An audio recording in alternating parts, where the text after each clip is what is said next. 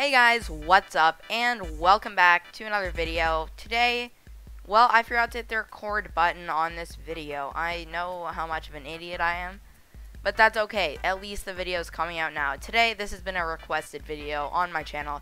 Today, what we are going to be doing is I'm going to be showing you guys how you can disable the BLC admin pop-up because every time you open up Badlion, it'll just bring up like a screen that says like yes or no. Sometimes you have to enter a password.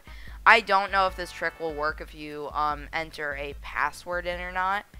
But I know that if you just have to click yes or no, this will disable that so that it always works. And this, uh, the reason it does that in the first place is because Badlion, the anti-cheat on it, BLC, or, yeah, BAC, um, the BAC anti-cheat requires admin to check the files on your computer and stuff which can get annoying after a while after it like asks you every single time and so there is a way to still keep BAC and disable that at the same time. So I'm about to show you guys how to do that, and let's jump into the video.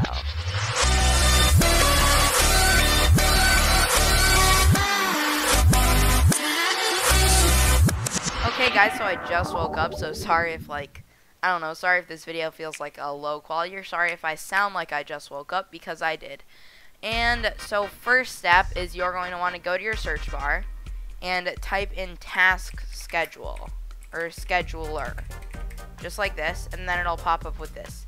Click on it and it'll bring you to a window just like this. And then you're going to want to left click on this and then right here click on new folder. Okay and then enter the name of the new folder. So I'm going to do BAC because I am actually basically just turning a guide into a video. Um, up BAC, and then press OK, and then go right here, BAC, and then right click on this folder and choose create task, and then what you want to do is in the pop-up that comes up like this, you want to enter in a short name without spaces in it, like, let's say, BAC no admin. Or BLC no admin, maybe. So I'm going to call mine BLC no admin, but you can call it whatever you want. Just try not to use like caps and spaces, and you're probably fine. I don't know if caps will work, but, or I don't know if caps won't work necessarily, but just stay away from it. Uh, tick the checkbox that says run with highest privileges right here because obviously that's what UAC, the admin thing, does. And then click on the Actions tab and click on New Action, so just New. And then Action, start a program, and then you want to go to the Badlion client.exe file.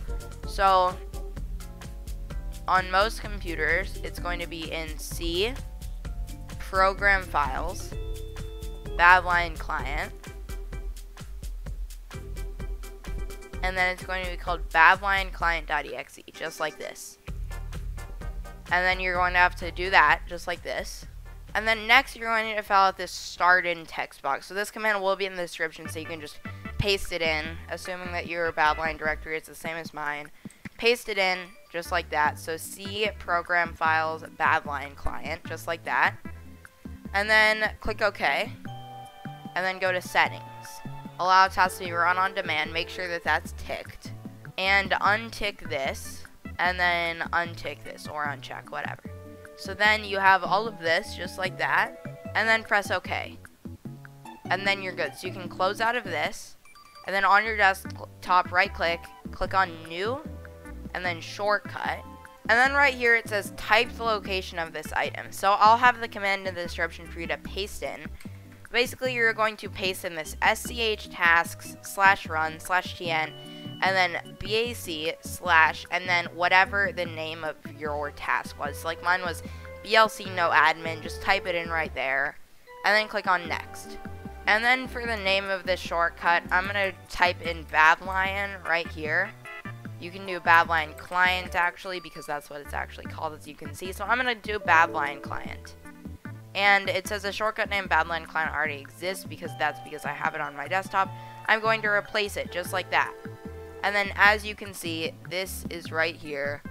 But we are not done because first what we have to do is make this the Badlion client icon just for that finishing touch. So right click on this and then click on properties and then from there click on change icon right there. And then it'll say this, click OK and then browse so that you go to local disk C, program files, Badlion client, and then go down to badlionclient.exe, and then just select this.